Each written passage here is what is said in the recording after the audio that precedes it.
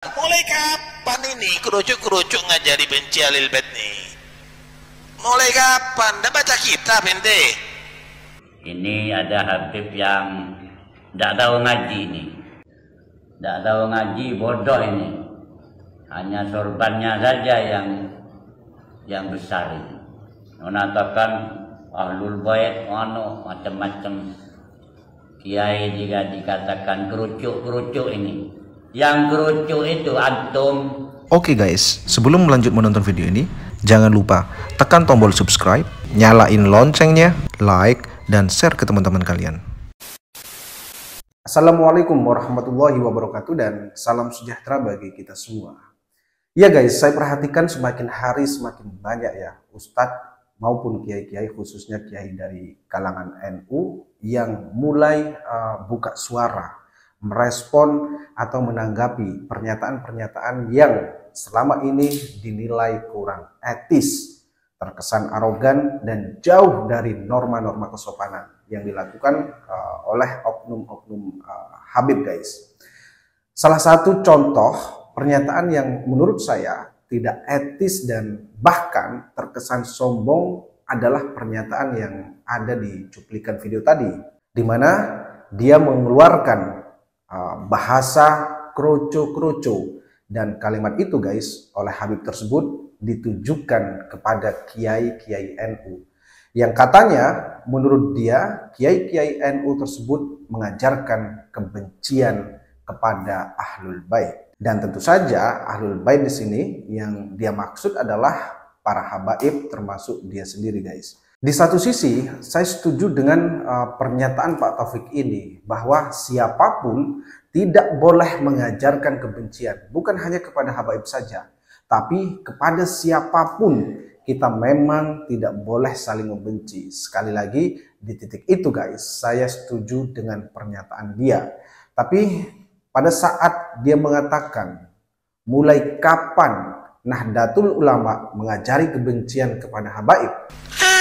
Ini mulai kapan? Mulai kapan? Jadi Nahdlatul Ulama ngajari benci alil bait itu mulai kapan? Wah, ini produk baru ini dulu model ini. Di sinilah menurut saya kekeliruan dia guys. Apalagi ditambah dengan bahasa yang mengatakan kroco-kroco.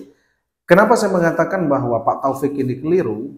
Karena sampai saat ini guys, saya yakin uh, tidak ada ulama-ulama atau kiai-kiai NU yang mengajarkan kepada kita untuk membenci ahlul bait. Apalagi ahlul bait di sini uh, yang dimaksud adalah Siti Fatimah, kemudian Sayyidina Ali, Sayyidina Hasan dan Sayyidina Husain.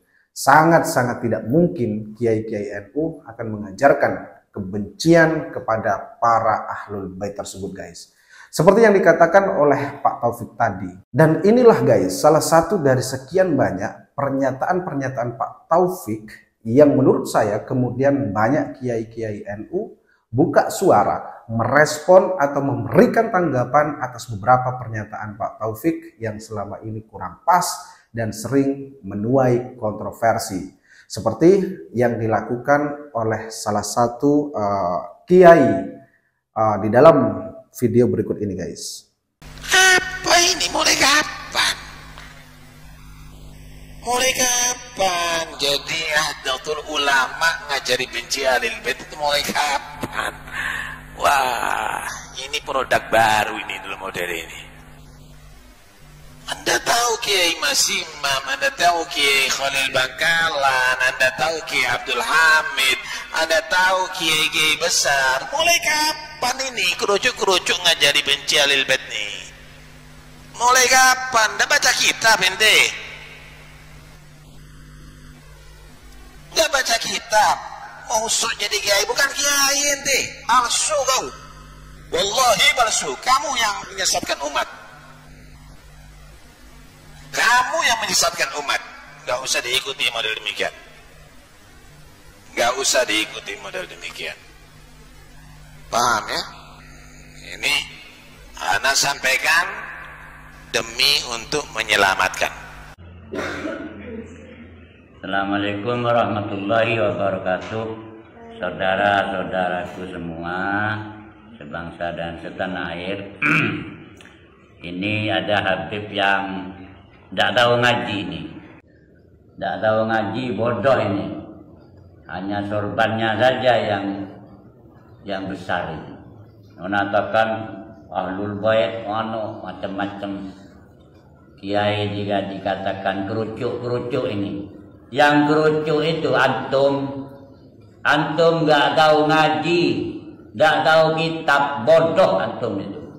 Ahlul bait ini tidak ada sudah ahlul bait itu terakhir setelah meninggalnya Sayyidina Husain coba lihat di kitab eh, Imam At-Tabrani itu ada kitab Al-Mu'jamul Kabir karangan Imam At-Tabrani Kemudian di kitabnya Sunan At-Turmudi itu halaman nomor 64 ada semua di situ tuh. Ya, ada semua. Jadi Ahlul Bait itu ketika turun ayat Kulla as'alukum alaihi ajra illal mawaddata fil qurba. Ini anjing Nabi ditanyakan waman korobatu kaya rasul? Siapa saja? Eh, ahlul baitnya jenengan ya rasul. Qala menjawab Nabi Aliun wa Fatimatu wa benahuma jelas hadisnya ini. Aliun wa Fatimatu wa benahuma Ali Sayyidah Fatimah dan putranya Hasan dan Husain. Nah, setelah meninggalnya Sayyidina Hasan dan Sayyidina Husain ahlul bait tidak ada. Baru dipahami jangan membuat sesat di Indonesia antum ini. Membuat sesat di Indonesia pulang ke sana. Di di Saudi itu di Arab itu tidak ada istilah Habib. Tidak ada. Yang ada itu di Indonesia. Karena orang Indonesia itu yang makan Habib itu kita harus kembali ke agama. Kita kembali ke agama. Ya karena agama itu ilmu. yang jelas di hadisnya itu ulama al ulama warathatul anbiya jelas hadis ini ulama pewaris nabi ya kalau Habib orang-orang Arab itu alim seperti Gus Baha hafal Quran hadisnya sekian ribu hadis kalau perlu sekian juta hadis nah itu ulama. Nah begitu juga kan walaupun bukan Habib bukan turunan Arab itu kalau hafal Quran alim seperti Gus Bah itu ulama. Nah ini yang dijamin dengan di Quran innama yakhshallah min ibadihi ulama. Perhatikan ini Innama yakhsallah min ibadil ulama. Hanya saja, ini ada innama ini. Hanya saja yang takut kepada Allah dari hamba-hamba Allah, hamba-hambanya Allah itu ulama. Tidak ada jaminan durian Nabi itu masuk surga. Ingat, bukan Nabi. Eh, yang ngaku-ngaku durian Nabi ini bukan Nabi. Tidak maksum itu santrinya aja ada punya kok. Ini masalah ini ke bangsa Indonesia ini. Tolong teman-teman bangsa, saudara-saudara sebangsa dan setanah air. Ini kita ini bangsa Indonesia asli. Coba kalau mengaku durian Nabi, tolong tes DNA. Ya, tolong dites DNA. Apa itu ada gen Yahudi? Apa ada gen siapa itu? Kalau duriyah Nabi itu alim, akhlak berakhlakul karimah. Ini musarri nanti ini. Ya, musarri ini. Udah mancung hidungnya, udah habib. Tidak ada. Innamal habaibuna. Al habaibuna warasatul anbiya ada. Habib itu tidak ada istilah di agama. Di Al-Quran tidak ada. Di hadis tidak ada yang ada hanya di Indonesia, Beb. Antum itu bukan orang sini. Ngaji dulu, yang alim dulu. Ya. Ayo kalau mau debat sama saya, wayo. Tidak apa-apa. Wah ini ahlul bait, ahlul bait mana? Ahlul bait itu tidak ada setelah Sayyidina Husain itu.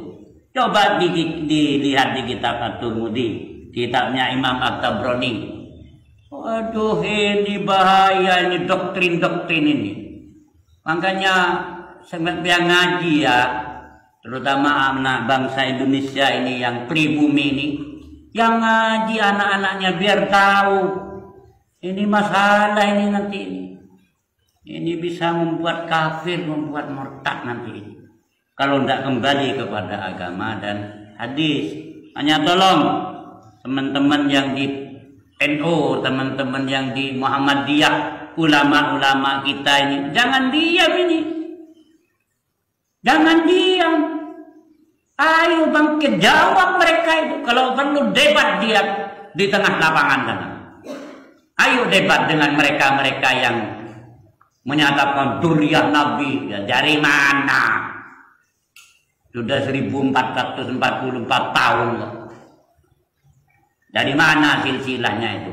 Kalau perlu dites, bukan hanya perlu, wajib dites DNA-nya.